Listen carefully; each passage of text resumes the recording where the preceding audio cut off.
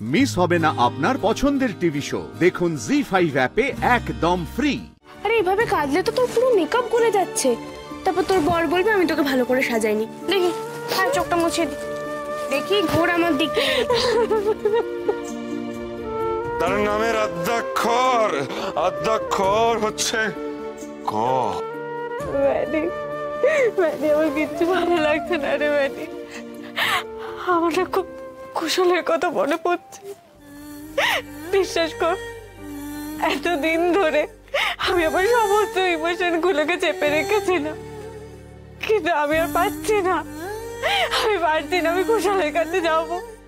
আমি একবার ওকে দেখতে চাই ম্যাডি বললাম কোথায় আছে। ম্যাডি প্লিজ ম্যাডি বললাম কোথায় আছে কুশল? সকালে তো তোর চোখের সামনেই ছিল কুশল। তোকে ছুঁয়েও ছিল। তারপরেও বলছিস কুশলদা কোথায়? কার কথা বলছিস তুই? কেন? সাধু বাবা?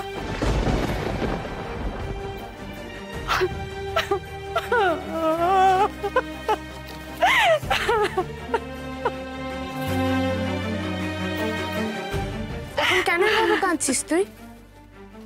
ম্যাডি আমার কিচ্ছু ভালো লাগছে না। আমার না নিজের উপর ঘেন্না হচ্ছে ম্যাডি কেন স্নেহা? জানিস ম্যাডি সকালবেলা যখন ও আমার হাতটা ধরলো না, আমার তখনই কি একটা মনে হয়েছিল। কিন্তু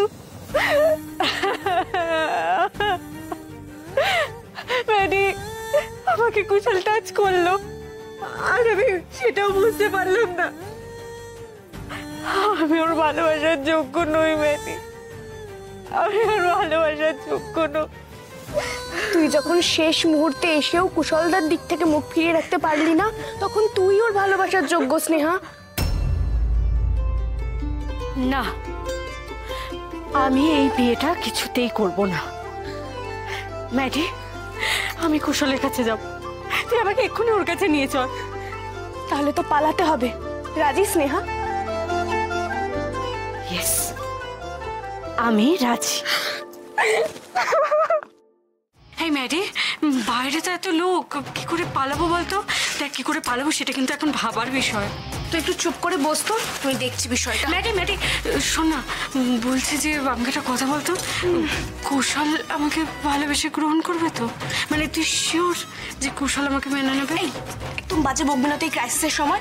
আমি কোথায় ভাবছি কীভাবে তোকে নিয়ে পালাবো? তুই দেখ নেগেটিভ চিন্তা ভাবনা করে যাচ্ছিস।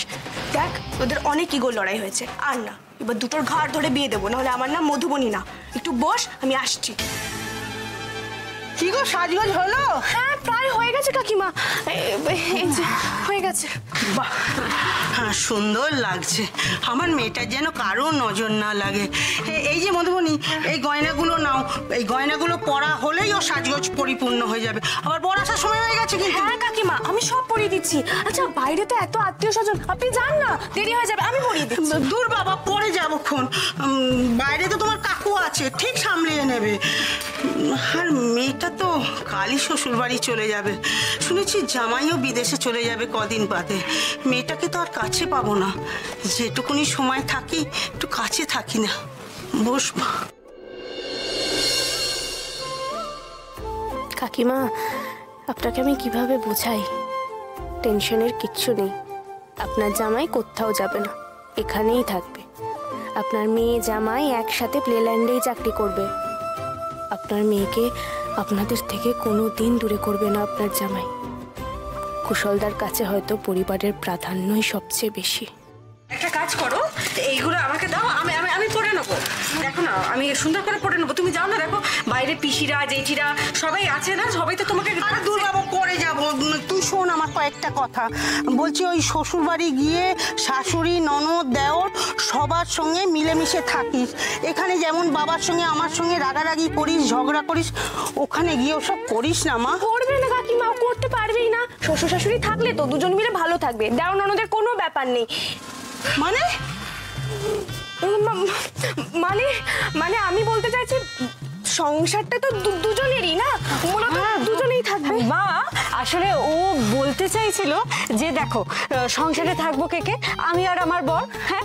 এই আমি আর আমার বর যদি দুজনে মিলে খুব ভালো করে থাকি। মানে আমাদের যদি অ্যাডজাস্টমেন্টটা খুব ভালো হয় তাহলে বাকি লোককে পরিবারে হ্যান্ডেল করতে মানে ইউ এরকম হয়ে যাবে। কি রে ম্যাডি তুই এটাই বলতে চাইছিলিস একদম তো? আপনি একদম চিন্তা করবে না। আর কেউ থাকলেও খুব ভালো অ্যাডজাস্ট করে নিত। কি ব্যাপার তো ও শ্বশুর বাড়িতে তো সবাই আছে। হ্যাঁ এটাই আমার শ্বশুরবাড়িতে সবাই আছে। মা আসলে ম্যাডি যেটা তোমাকে বোঝাতে চাইছিল সেটা বোঝাতে চাইছিল তোরা আবার কোনো উল্টো পাল্টা প্ল্যান করছিস না তো? আমার কাছে কিছু লুকোচ্ছিস না তো? মা এই কিছুক্ষণ বাদে আমি বিয়ের পিড়িতে বসবো আর তুমি এখনও পর্যন্ত আমাকে সন্দেহ করছ? কি করব বল? ঘর পোড়া গরু সিঁদুরে মেঘ দেখলে ডরাই মধুবনী তুমি কিছু বলছিলে মা? হ্যাঁ আমি ওটাই বলছিলাম কাকিমা। দেখুন আপনিই তো বললেন যে ওর বর ওকে বিয়ে করে বিদেশে চলে যাবে। তখন তো আর কেউ থাকবে না। ওদের দুজনকেই সংসার করতে হবে। সেখানে তো শ্বশুর বাড়ির লোকজন থাকবে না। তাই ওটাই আর কি বলছিলাম। আচ্ছা সব গয়না পড়ানো হলো? না এই হাতটা এখনও বাকি আছে। ও কাকিমা আপনাকে কোথায়? বাইরে থেকে কেউ ডাকছে আমি দেখছি। এই ম্যাডি তুই কোথায় যাচ্ছিস? আচ্ছা তুই কি চিনিস যারা এসেছি? হ্যাঁ হ্যাঁ কাকিমাকে পাঠাবো? কাকিমা তো এখানেই আছে। হ্যাঁ ডেকে দিচ্ছি। ডেকে দিচ্ছি কাকিমা কাকু আপনাকে ডাকছে ওই হ্যাঁ যে বলেছিলাম না দরকার পড়লে ঠিক ডাকবে। এই নাও হাতটা পরিয়ে দাও। দেখি কি বলছে বাইরে। বাবা বাঁচান বেঁচেছি এই যতক্ষণ না বোঝে যে আমি এটা গুল দিয়েছি তার আগে পালাতে হবে হ্যাঁ? চল। এত তারা যাওয়ার হ্যাঁ, এই, আমার এই মেয়েটা তোমাকে খুব অস্থির করে দিচ্ছে, তাই না? হ্যাঁ রে মা, তুই দেখতে যাচ্ছিলিস, বর এসেছে কিনা, তাই তো? তোর এত তারা মা শ্বশুর বাড়ি যাবার। আর কিছুক্ষণ পর মাথায় সিঁদুরটা উঠে গেলেই মেয়েটা আমার পর হয়ে যাবে। আরে মা, কাজের ফাঁকে মাঝে মাঝে তুই তোর এই বুড়ো বাপটাকে মনে রাখবি তো। দেখ, তোকে যতই বকাবকি করি, যতই তুই কাজের জন্য আমাদেরকে ছেড়ে কলকাতায় থাকিস না কেন তোর এই বিয়ের বিয়ের কথাটা মনে হলি না যার কিছুক্ষণ পর তোর বিয়ে হয়ে যাচ্ছে তখন আমার বুকের ভেতরটা কেমন মোচড় দিয়ে ওঠে রে।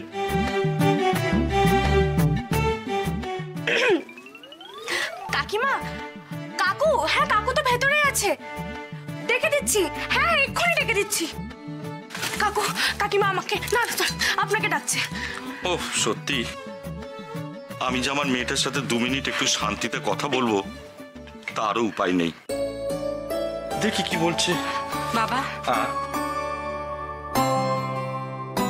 থাক মা থাক। বিয়েতে বসার আগে তোমাদের আশীর্বাদ না নিলে হয়। আমি আশীর্বাদ করছি মা। তুই সুখী হ। তুই স্বামী নিয়ে সংসার নিয়ে সুখে ঘর কর মা। তুই সুখী হ। এই চল ম্যাডি। আমার না কীরকম খিলফিল কাজ করছে জানিস তো? জি ফাইভ ডাউনলোড করুন আর সব এপিসোড দেখুন একদম ফ্রি